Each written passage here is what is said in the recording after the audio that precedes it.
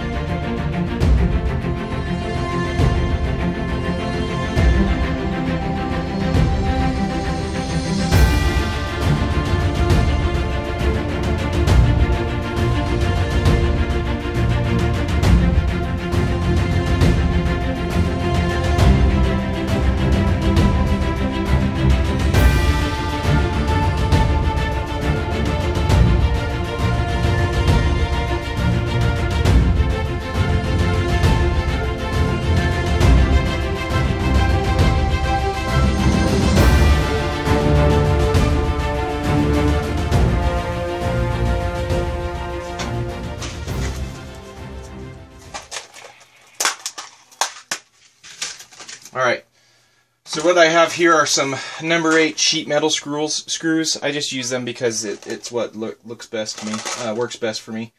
They're 5 eighths of an inch long, so this is 3 quarter inch shelving. The 5 eighths just you know ensures I don't punch through it.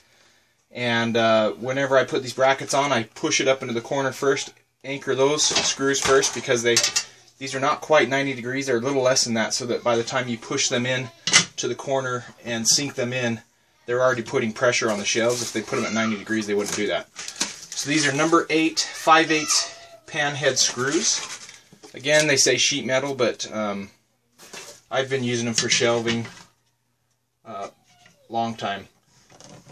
So what I'm going to do is push this up here and put in my first screw. I'll do the same to the other side.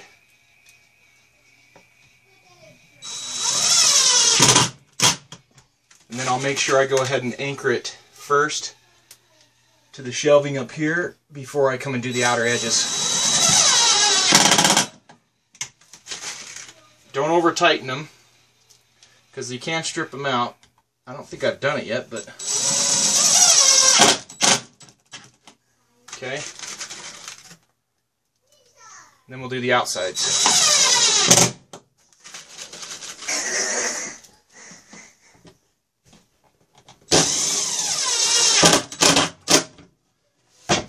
And nothing's punched through on the top, and it's really sturdied up that shelf. So. Now, if you didn't sandwich the top of this down like I did with a piece of hook strip there, when you were, if you push up this bracket into the center and you don't have this shelf anchored on very well, those nails can pull out a little bit. I've had that happen before. So it's just something to be aware of.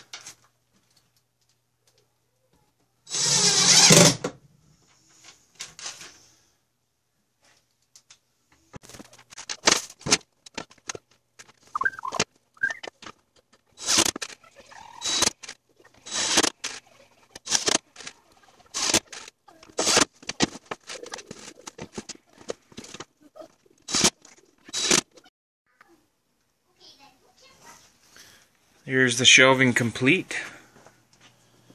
This is why I uh, clip these corners around at them is for these outer edges so people can't hit them and I think it uh, makes it look nicer. All of my edges I will knock off at a 45 degree angle about halfway about half the thickness of this maybe a little more. I think that makes for a much nicer finish than um, what you usually see people doing. Um, this one, normally you don't see the nail holes because uh, they're behind this, but the actual stud is over here on the right. And I needed to put this smaller bracket over here so it fit. I guess I could have moved it to the right a little bit, but um, normally the nail holes are covered, as you would see here. So despite using a lot of nails, most of it's covered. Um, that's the exception, but um, I mean this is all it's for, storage, so I'm not too concerned about it. Now right now I have lightweight stuff on it like empty boxes and 72 hour type kits with different things in them. The glue has still got to dry um, before I put anything really heavy on it like if I were to put a water jug on it, 5 gallon water jug. Um, I would put those over here where there's a bracket all the way on this this left side and then um, supports right here maybe one or two water jugs and then I would go lighter as I went this way since there's no outside support other than these brackets. Um, that's a, another reason for putting this MDF or the hook strip up on top. Um, it sandwiches this shelving top and bottom. I'm sandwiching it so that if the shelf were to get too much weight on it and try to tip away, um, one, it would have to pull out the nails, which it can do, but two, it has to push through this hook strip, which has been glued on and nailed on into the studs, and it won't do that. So my kids climbing on shelving all the time shouldn't be a problem. So it's hard to give you an actual good shot of it because of the tight space that I'm in. But it makes good use of this space, which um, hasn't been doing anything else other than, you know, collecting boxes and a few things right here. Um, I have a much deeper shelving over here, and I want to replace most of these can rotators with a rotator that I'm going to build on the, the wall, which is a future project, maybe in a couple of weeks. And then we'll clear off most of these rotators, so we'll keep some of them. And then fill this with different food storage. And this goes down to the right, and then I have a bunch of boxes even stacked out a couple of rows because I didn't even have room on my shelves for this kind of stuff. So lots of shelving, but seems like you can never have enough. One thing I wanted to mention about building these shelves is you'll notice that a lot of the time I'll extend the bottom rung to the next stud. Um, depending on where the stud fell. Now, if the stud was like right in this range, I would just extend it to here. If the stud was right back here, I'd probably just extend it to the end of the shelf. Um, but when I when I'm close, I'll just extend it to the next stud as I did here because I want to be able to nail into it and get a good gripping point. Now you notice I didn't sandwich this one on the top because the force is going to be this way and um, it looks nicer not to have anything there if possible. Um, on the back, I did I did put that, but you'll notice that on the top, I ran it just to the edge. Um, it is stapled into the nearest stud back here, but this one's not holding the weight. It's it's just keeping this from flipping up and coming out um, should it get too much weight. And so, shoot for aesthetics when you're working on the top. The bottom, um, you want to go for the strength. Now, if I come in here to the existing shelving that I did a while back, you notice how much further I extend here because of the studs. Now there is a stud there, and there's a stud 16 inches off of that, which is probably going to be right in this range. And that's the reason for extending this out as far as I did. Otherwise, if I just did it to here, um, the only thing holding it against the wall would have been the glue, which may have held just fine, but I always like to put in some type of mechanical fastener if I can, um, in addition to the glue, just to make sure it's strong, especially when I knew I was going to put as much weight on this as I did. So you can see why, with all of this weight out towards this edge, why I sandwiched the top of these down so that there's no way it can flip and everything. Um, these are actually holding tons of weight, especially if you go into the corners. I put most of the weight there. There's uh, things like sugar and, uh, I don't know, many, many, many pounds of weight, hundreds of pounds of weight on those shelves. And then I have, have a bracket on every single stud because I knew I was going to be putting a lot of weight on these. So that's just one thing to keep in mind. Shoot for aesthetics, but also shoot for the uh, strength, and you can get something that looks nice.